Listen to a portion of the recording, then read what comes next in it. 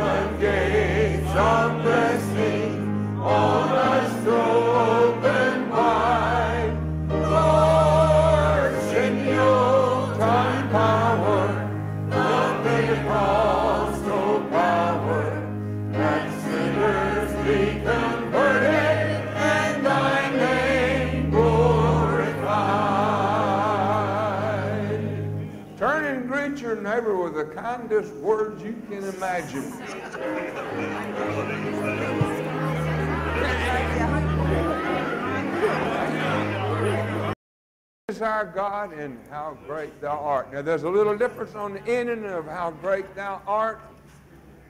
Watch me.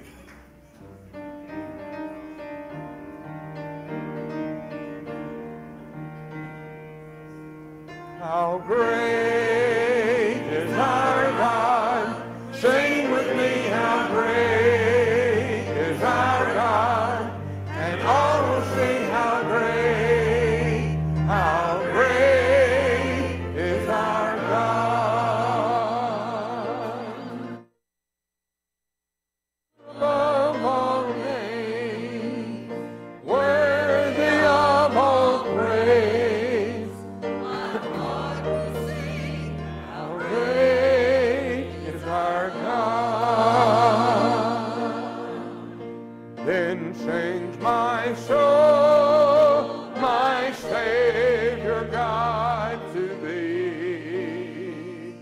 How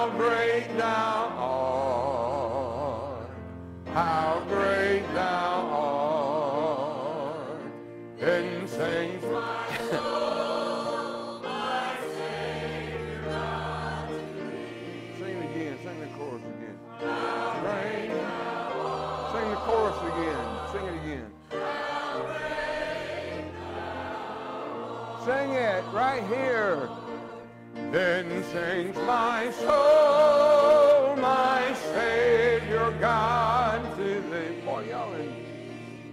How great thou art. How great thou art. Then change my soul.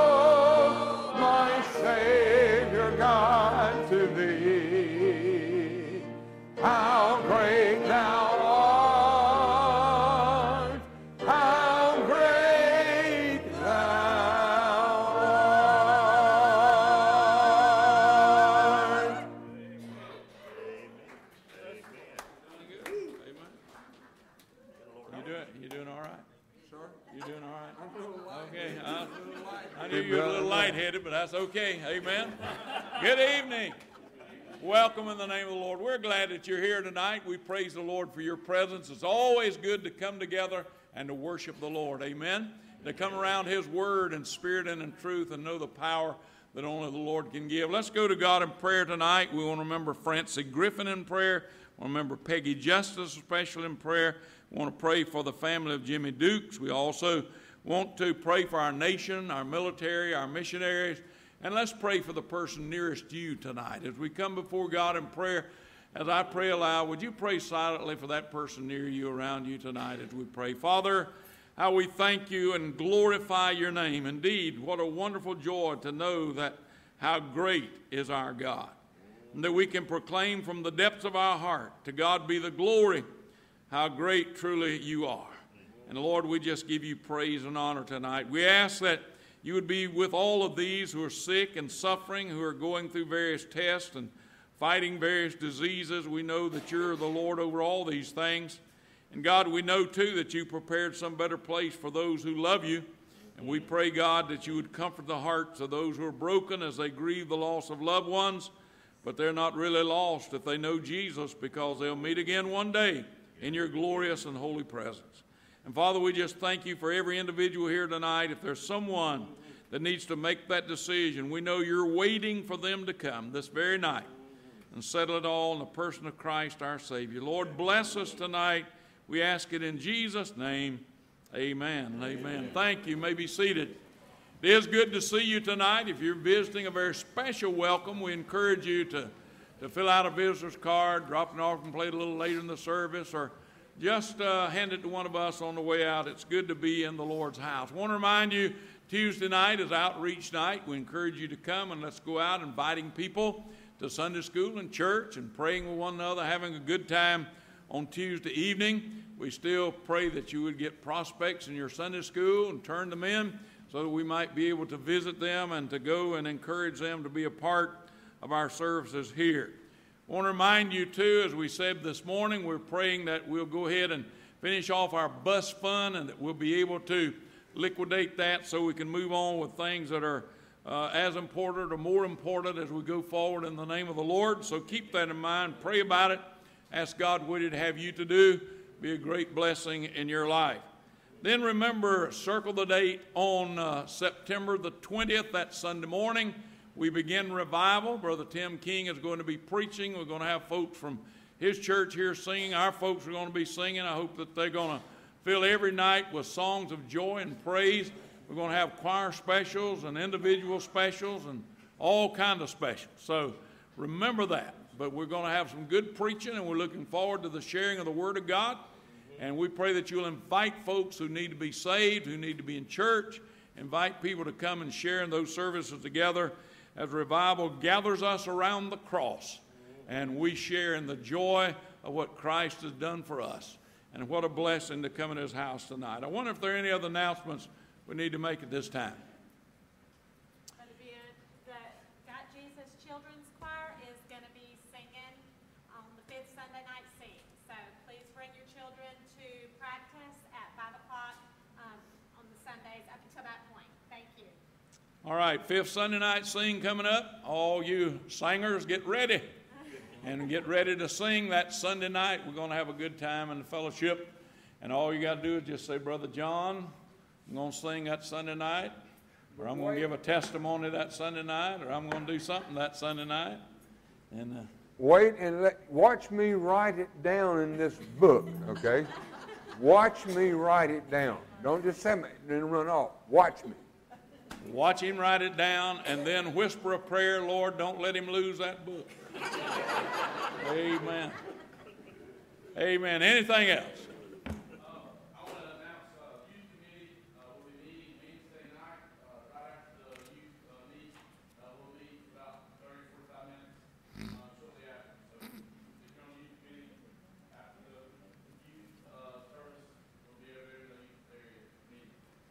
All right. Well, let's continue as we praise the Lord in song.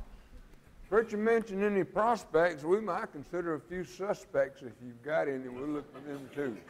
Page 15. Let's stand and sing, Come Thou Fount of Every Blessing.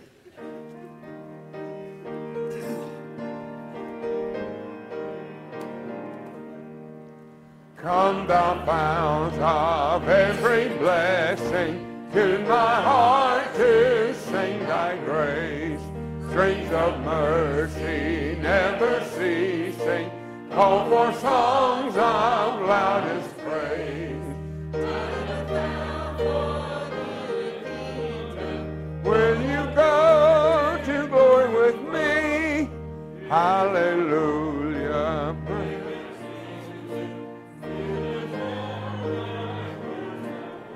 Time out. There's time, time, time out. I was trying to sing the words that, were up there, but somehow I couldn't make them fit. Some of you did a better job than I did. Let's go to the second stanza. Here I raise Ebenezer, hither by thy help I'm come, and I hope by thy good pleasure safely to arrive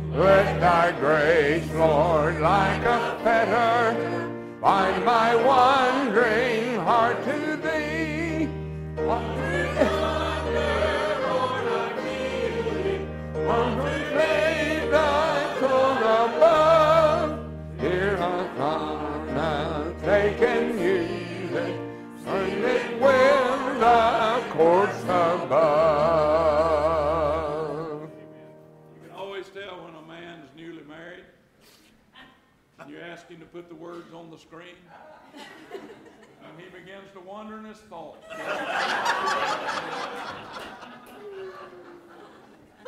It's a joy to come to the Lord and have a good time in the house of the Lord. Amen. And congratulate Dustin that he's still here with us tonight. Oh boy, what a joy just to come and say, Lord, we love you. We give to you in Jesus' name. Let's bow for prayer as one of our men shall lead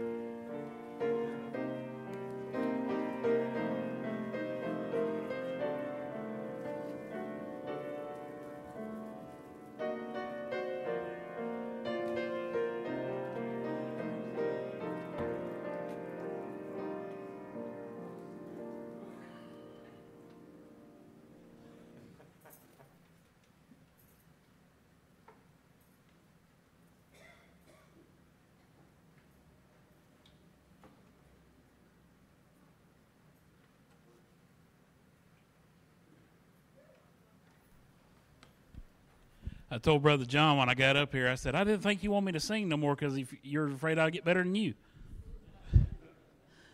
But uh, he, yeah, he's. But uh, he, he asked me to sing. Apparently, y'all been requesting this one again. Um, sang it a couple Sundays ago. I was afraid for a second, Dustin, and got a hold of my phone because I couldn't pull up the playlist.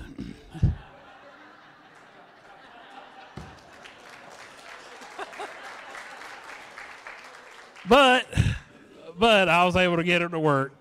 I found out it wasn't Dustin; it was me. uh, don't worry, Dustin. Everything is blamed on me too, so don't worry about it. But uh, I, I figured why not? I'll sing this again for y'all. Uh, I believe in a hill called Mount Calvary.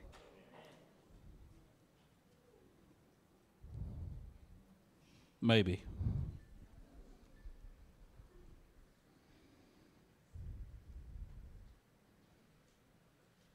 You got it on it there?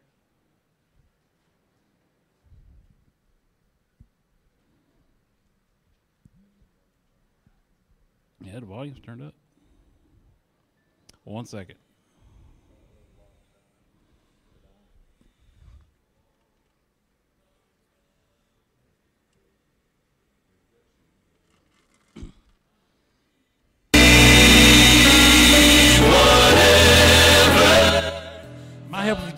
If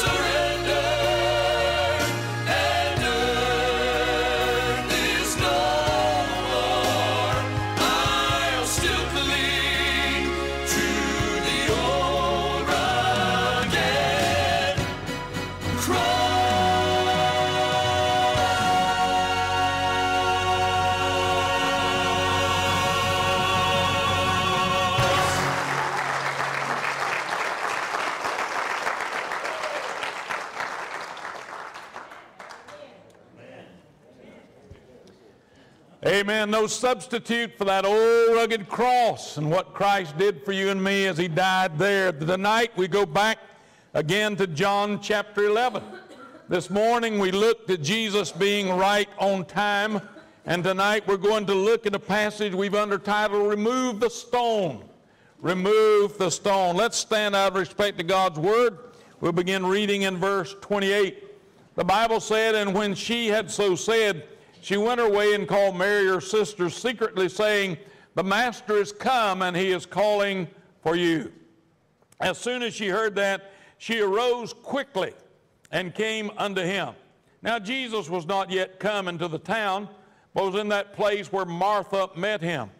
The Jews then, which were with her in the house, and comforted her, when they saw Mary, that she rose up hastily and went out, they followed her, saying, She's going unto the grave to weep there. Then, when Mary was come where Jesus was and saw him, she fell down at his feet and said unto him, Lord, if you had been here, my brother would not have died. When Jesus therefore saw her weeping, and the Jews also weeping, which came with her, he groaned in the spirit and was troubled, and said, Where have you laid him? They said unto him, Lord, come and see. Jesus wept. Then said the Jews, Behold how he loved him. And some of them said, Could not this man which opened the eyes of the blind have caused that even this man should not have died? Jesus, therefore, again, groaning in himself, comes to the grave. It was a cave, and a stone lay upon it. And Jesus said, Take ye away the stone. Martha, the sister of him that was dead, saith unto him, Lord, by this time he's stinking, for he has been dead four days. And Jesus said unto her, Said I not unto thee, that if you would believe, you would see the glory of God. Father, bless your word as we lift it up to you. Thank you for its divine truth in our hearts and our lives. In Jesus' name, amen and amen. Thank you. you may be seated.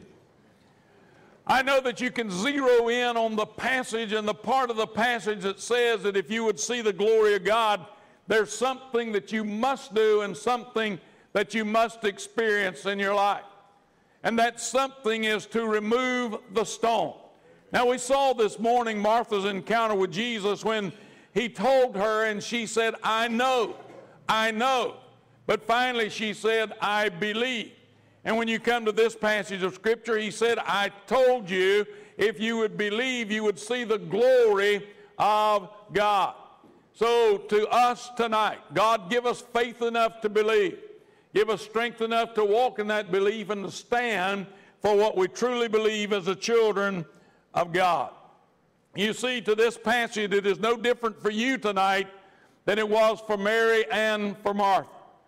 Because, first of all, the Master is calling for you.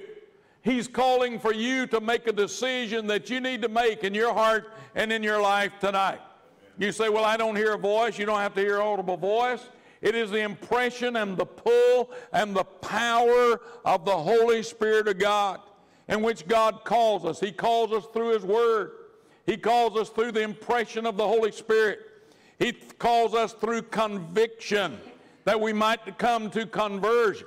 Or he calls us through conviction that we might come to commitment or to consecration under the power of the living God. The Master is present.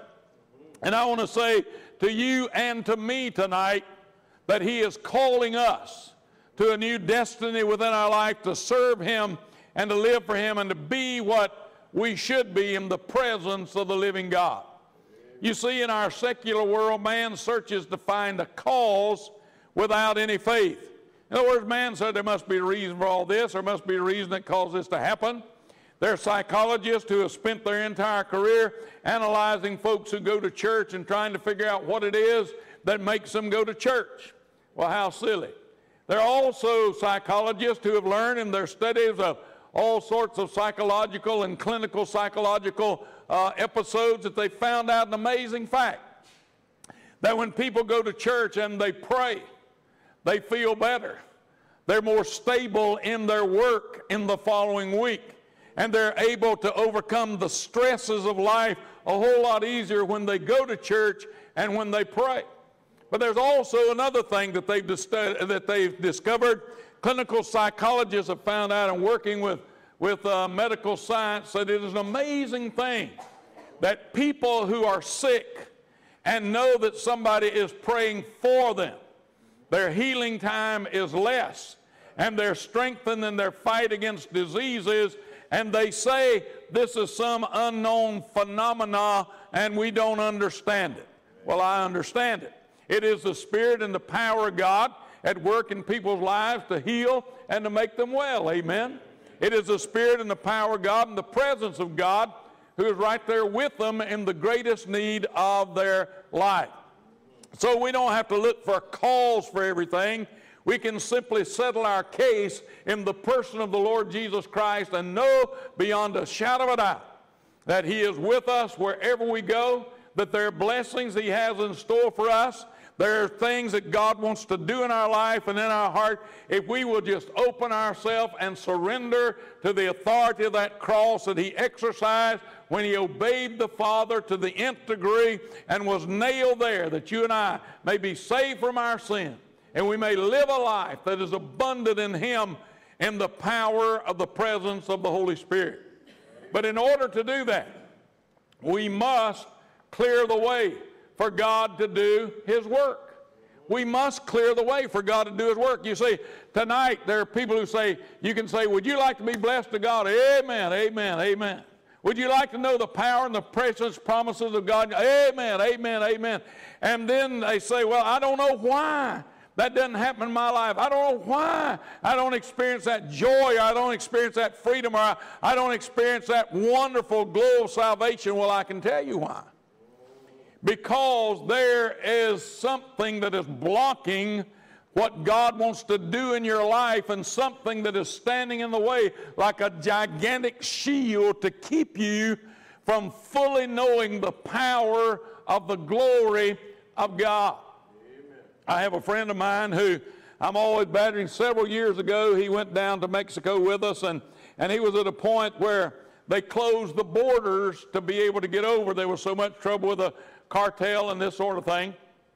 And so I, I said to him, I said, Jim, I'm going I'm going to ride down about 20 miles down here and see if that part of the border's open and and we'll cross over there. He said, Oh, now wait a minute. Said, I know what you're going to try to do. You're going to try to find some back road into there. I said, Man, there ain't no back road into the border. What's the matter with you? I said, You got to cross at an international crossing. But anyway, when we got to the place to cross the border, he jumped out of the van and ran over to the parking lot. So we pulled over in the parking lot, stopped, parked the car, and walked across the border to where we were going. My point being this is since that time, he's never been back with us. I don't know how scared he got. But I'm saying this that I can call him and talk to him, or he'll call me and I'll say, Now, we're going to go November the 9th. I'd like for you to go with us. You know what he says? He said, There's static on this line. This phone breaking up. I can't hear it. I, I, can't hear it. So I saw him yesterday at that wedding I performed. I said, Hey, guess what? We're not on a cell phone. You can hear everything I'm saying. Amen. But you see, the reason that sometimes we don't hear God and the reason sometimes we don't see God work in our life is because we got so much static going on and we got so many things that do not clear the way for the power and the purpose of God to occur within our life. There may be so many things of earth's call upon us, so many present duties or family obligations or whatever. You just fill in the blank. But it keeps us from hearing the voice of God. And those obstacles keep us away from the church.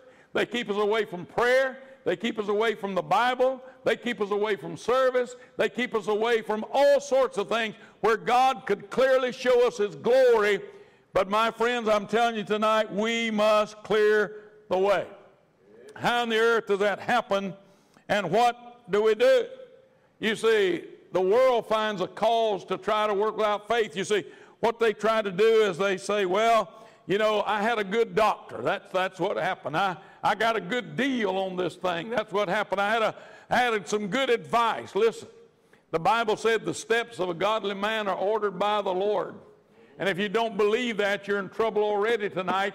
But if you believe that God orders the steps of a godly man, then whatever you do and whatever's accomplished in your life Oh, yes, he might have been a good doctor. Yes, that might have been a good business deal. Yes, that might have been good advice.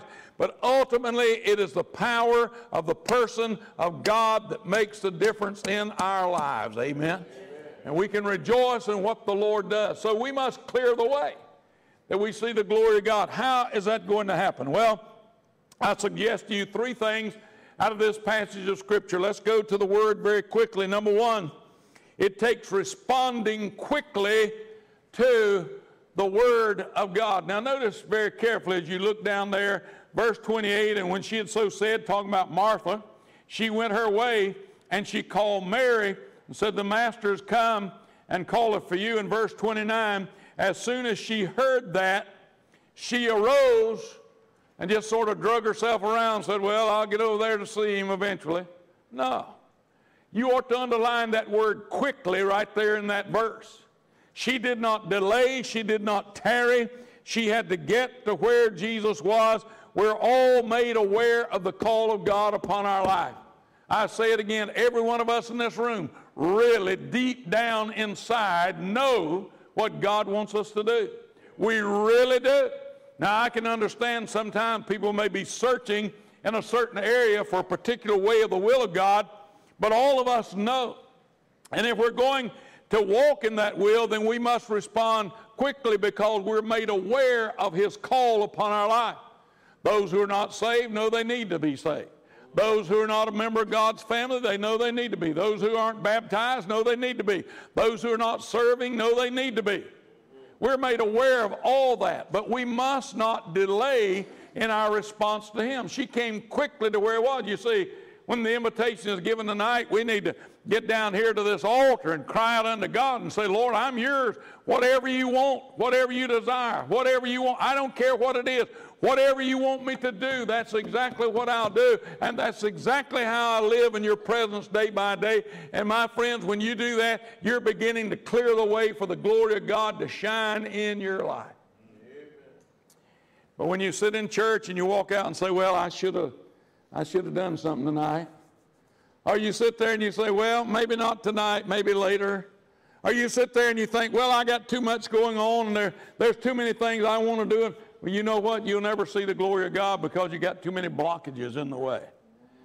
It takes responding quickly to the presence and the power of the Holy Spirit. But let's look at the second thing. It takes meeting Jesus while he is present. Look at verses 30 through 37. The Bible said, Now Jesus was not yet coming to the town. Remember this morning we saw that he was two miles from Jerusalem to Bethany. And in that two miles, he had already had an encounter with Martha, and now Mary comes to meet him. And the Word of God says, Now Jesus was not yet come into the town, but was in that place where Martha met him. And the Jews which were with her in the house that comforted her when they saw her jump up and run out, they said, Oh, she's going to the tomb to weep again and to cry again. You see, a lot of people think you're seeking a lot of things instead of seeking Jesus. Amen. But the truth is that when you follow the leadership of the Lord, you're seeking the Lord. Doesn't matter what people say, it doesn't matter what people think. People's opinions matter very little when it comes to our relationship to Jesus Christ. So if you're afraid of what people will think, then you've got another thought coming. There are a lot of people who sit in misery and never see the glory of God because they will not let go and let God have his way. People's opinion really don't matter when it comes something between you and Jesus. We're more worried about what people think than we are about what God thinks. We're more worried about what our friends are going to say than what Jesus has already said for us to do. Listen, take the high road. Put your hand in the hand of the Lord Jesus Christ and trust Him more in what He has said than what people think by their word and just trust God and know the glory of God and the joy of God and the peace of God that passes all understanding. Once you come to Him, look at verse 32. Once you come to Him, fall at His feet. Humble yourself under the mighty hand of God, that God can raise you up. Listen, to take that time to humble yourself before God. You know what? It's gotten passe. It's gotten out of vogue. It's gotten out of style for people to get on their knees and cry out and call unto God. I can remember even as a little boy, I was amazed in that old church that had a wooden rail all the way around and, and the floors were wooden. And I was amazed when they'd give an altar call and people get up from that altar and go back to their seats. And I'd look down there on that floor and it would be wet with the tears of people who were down there weeping before Almighty God. I ask you tonight, how long has it been since you've been broken before God? That you wept in His presence and you cried out unto Him. Why is that necessary to fall at His feet? Because, number one, look at verse 33. He is moved with compassion for you. And when Jesus therefore saw her weeping, Jesus knows. He understands what's breaking your heart. He knows what's going on in your life. And my friends, the Bible said He's moved with compassion toward you. And when you fall at His feet, He inquires into your need. Look at verse 34. And He said, Where have you laid him? They said unto him, Lord, come and see. Now, the amazing thing is that the Bible says that Jesus is touched by our infirmities. Amen. He's touched with our heartaches. He knows the things that we're concerned about. It doesn't matter if you're a teenager. It doesn't matter if you're a boy or girl, mom or dad, parent or grandparent. He knows the things that breaks your heart and he knows the things that trouble your soul. And the Bible says in verse 35 that he weeps with us when we weep. He knows all about, the old song said, He knows all about our troubles. He knows all about our cares. It is He who lifts us up from the valley of despair. He knows. Now, the Word of God says very plain, the shortest verse in the Bible, verse 35, Jesus wept. Jesus wept. Now, why did Jesus weep? You find very little emotion in the heart and the and the passion of the Lord Jesus at all times. But the Bible says Jesus wept. The Holy Spirit put that there. I think that there are two or three reasons I suggest to you why Jesus wept. Jesus did not weep because Lazarus had died. Jesus did not weep because his friend had died. Why? Because he knew he had power to raise him up. Amen. That was no problem with him. Death is not a problem with God, it's a problem to us. But Jesus could say in John 14, as we'll read later on in this book, let not your heart be troubled. You believe in God, believe also in me. So that's not a problem to him. Sickness is not a problem, it's a problem to us. But he's moved with compassion, and the Bible said Jesus wept. Let me suggest two or three things. Number one, I think Jesus wept because people failed to understand what Jesus was all about. They fail to understand that He is the way, the truth, and the life. Have you ever been so misunderstood that it broke your heart? Ever been so misunderstood that, that people thought you were trying to say one thing and actually that's not what you were saying at all? You were trying to do something for their own good and their own blessing, and it just broke your heart because they would not understand what you were trying to say to them. And the amazing thing is that the power and the purpose and the promise of God and that reality is I believe Jesus wept because people failed to understand what was going on. I think Jesus, secondly, wept because he knew that Lazarus would have to die again. He knew that he would raise him up from the dead, but he knew that he'd have to face the sting of death again. And yet, though the sting of death offers no power against the child of God, he knew that he'd have to go through whatever it was to take him out. Remember, we said the other day there are four reasons why we get sick and suffer. And one of those reasons was that it is to take us home to be with the Lord. And he knew that that was going to have to happen again in Lazarus' life. And he knew that it was going to have to happen again in the depth of his soul. But then I think he wept because men had missed the truth of the power of the Savior. The Bible says on one occasion that Jesus looked out upon the, the great city of Jerusalem. And Jesus stood there and was moved with compassion. And he said, How many times would I have gathered you to myself as a hen would gather her biddies? How many times would I have done that? And you would not. I tried everything. I gave you every opportunity. I gave you every occasion for the glory of God. But there came a day when I'd showed you all these things. and I had to write Ichabod over the door, which means the glory has departed because you refused to follow me and listen to the power of God. Folks, let me tell you something. That is no myth, that is no ancient saying. It happens today in the day and age in which you and I live. When people refuse the glory of God and the presence of God and the power of God, when they refuse the peace of God, there comes a day when God writes Ichabod over the door and the glory departs and it'll never be the same again and it will never happen anymore. I'm sad to say to you that up and down this land where I've been, I've seen churches that that has happened to. I've seen churches that were overwhelmingly full and the Lord was blessing and they turned against the glory of God for the passion and the praise of man. And you know what happened? I can ride by one of those churches now I could take you to it tonight. And you know what that church is? It's a hay barn where they use it now to store hay because the church has been closed up for several years and it's dried up and died. Boy, that's a sad. Every time I pass that place, I say, Oh God, don't let me ever be in a place where the glory is departed, but you be real and certain, and you know that we want to clear the way, Lord, for you to do what you want to do. I believe Jesus wept for more reasons than just the fact that Lazarus had died. And the Word of God tells us that He wept for you. People's ideas of God's remedies are faulty. Look at verses 36 and 7. Then said the Jews, Behold how He loved him. His love for him had nothing to do with what was going on at that moment. But boy, they had their own interpretation. Then some of them said, Could not this man which opened the eyes of the blind, couldn't he have made this man well so that he would not have died? Might have been. Could be. If only. Those are negative things. Hey, if you live in the past of what could have been or might be, you're going to be a disappointed, miserable individual.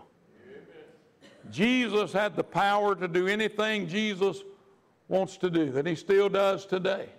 And He has that power in your heart and in your life. People's ideas of God's remedies are faulty. A lot of times people think, well, God wants this or God. You know, I'm always amazed when I hear these people stand up and they say, well, God told me this, or God told me that, or God told me the other. I must be the most carnal individual in the world because God don't speak to me that way.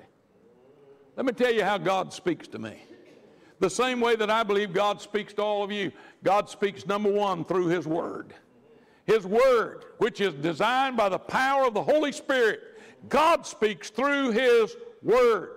Secondly, God speaks to, through spiritual individuals who have the wisdom of His Word and who have walked with God. And what they say, I know I can depend upon because they are people who walk with God. Thirdly, God speaks. God speaks through the very presence of the Holy Spirit impressing upon our lives what He wants us to do. Now, let me tell you, a lot of people talk like every morning they get up and God's written a note and pinned it to the foot of their bed. I want to tell you, God don't do that. Amen. It'd be like that old, old story of the man who had preached all those years and he came back and he said, Well, I've made a great mistake. He said, I was out there in the, in the field and he said, A big old plane come over and and just began to write up in the sky and it wrote GP and I thought that meant go preach. He said what it really meant was go plow. He said I messed up. I'll tell you what, when you look at the things of the world, they will mess you up. But when you look at the things of God, you can trust with certainty in what God wants you to do. Through prayer, He will impress you. Through His Word, He will teach you. Through godly people, He will lead you by the power and the presence of His truth. Let me tell you something. And this is one of the most amazing phenomenons to me that I've ever experienced in my life. When I was a young preacher starting out, and, and, I, and I talked with a lot of preachers, and I said, You know, what do you read and what are you studying? A lot of them said, Oh, well, I just study the Bible, and they wouldn't tell me anything. There was uh, one preacher who told me in a nearby church from here, he said, Look here, he said, I got a filing cabinet full of sermons down there. He said, come and get you a handful of them and you can preach them. Mm-hmm. Well, I knew I couldn't preach his sermons because that wasn't what God called me to do. Mm-hmm. You see, it's all the same light on the other side of that window. But when the sun shines through, it's colored by the frames of those prisms of different color. And that's the way it is with you. It's all the same light of the glory of God. But when God shines through you, it has a different hue and a different tone and a different way and a different method. That's why God created us all different that we might glorify His holy and precious name. Amen. And so, you know what I'd do? I'd go in a bookstore I'd look at a book, Christian bookstore, and, and I, I would pray, God, just show me what I show me what I should get so that I can learn and study. And I'd put my hand on a book and I'd tell you the truth. When I'd pick up that book, I'd know there was just something, and it was that something was the Holy Spirit of God that says, put that back. You don't need that. He didn't say that in audible voice. He didn't say that where it was announced over the loudspeaker. It was just impressed in my heart, and I put it back. Or I'd pick up another book and, yeah, I would just feel the warmth and the blessing of God. And I'm not telling you to go by feelings. I'm just telling you to go by faith. I'm just telling you something that happened to me. And you know what? Years later, when I began to look at my library of hundreds and hundreds of books, did you know I found out in that library there was not one single book that I'd ever chosen before I'd studied anything that was the wrong book to have. Why? Because the Holy Spirit of God led. Not me, but the Spirit of the living God. You see, God's things, as He said, His ways are different than our ways, and He has remedies that man mistake. But it is the power and the purpose and the promise of God if we will lay hold upon Him. My friends, we've got to remove and clear the way so that the glory of God can be seen. Now let's come in here real quick. it takes obedience to what he says. Look down at verses 38 through 40. This is the synopsis, this is the close of the whole thing. Number one in verse 38, he will meet you at your point of need. Jesus, therefore, again groaning in himself. Second time that phrase is used. It's not because he's in sorrow, it's because of the agony of misunderstanding of those around him groaning within himself. He comes to the grave. It was a cave, and there was a stone that lay upon it. There it is. Here's the miracle working God who can heal the sick and cause the blind to see and the deaf to hear. Inside that cave is a man who has been dead for four days. And there's a big stone between the miracle working Jesus and the dead man. What's the first thing that Jesus said? Now I want all y'all to get out here and light a candle and let's sing kumbaya? No. He didn't say, well, I think we ought to form us a committee here and decide how we're going to handle this thing. No, he didn't do that. He didn't say, well, let's all get together and kind of check and see where we are with everything and we need to get an exploratory committee to really see how we're going to handle this situation. No, he didn't do that. You know what he said? Look carefully. Mark it in your Bible, verse 39. Jesus said one thing take away the stone. Take away the stone. Now, watch this very carefully because the Word of God says, as Jesus said, Take away the stone. Mary, the, the sister of him that was dead, said, Lord, he's been dead three, uh, four days and he's stinking because of the malfaction of the body. Now, watch verse 40. And Jesus said, not I unto you that if you would believe, there it is. If you would believe, not just know, because all of you know.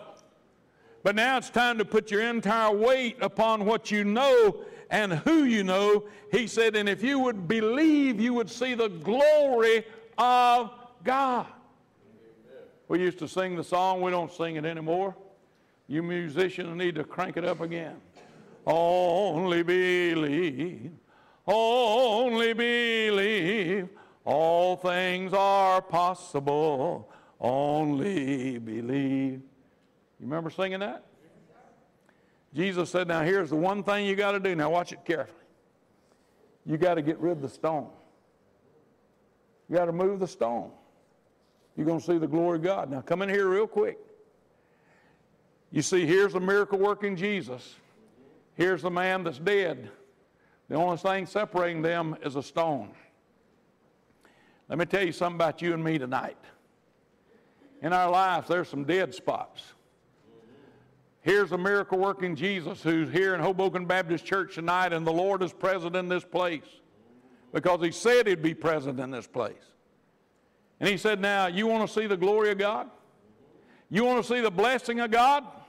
Then the only thing that's holding you from seeing the glory and the blessing of God is those stones that you've got stacked up one on top of another between you and the miracle working Jesus who is able to bring life out of death, hope out of despair, help out of sorrow, to bring victory in the wonderful name of Jesus. Amen.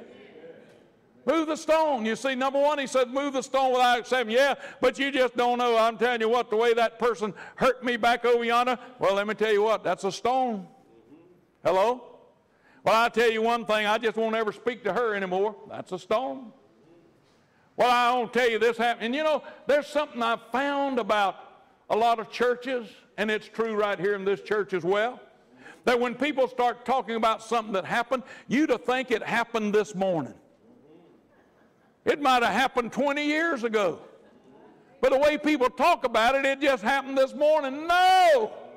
That's a stone that's standing in the way of us seeing the glory of God. How we need to get rid of those stones and come to the altar of God so that He can touch the deadness of our soul and the deadness of our life and the dead spots of our church and cause us to live with a vibrant power of the Holy Son of God. Amen.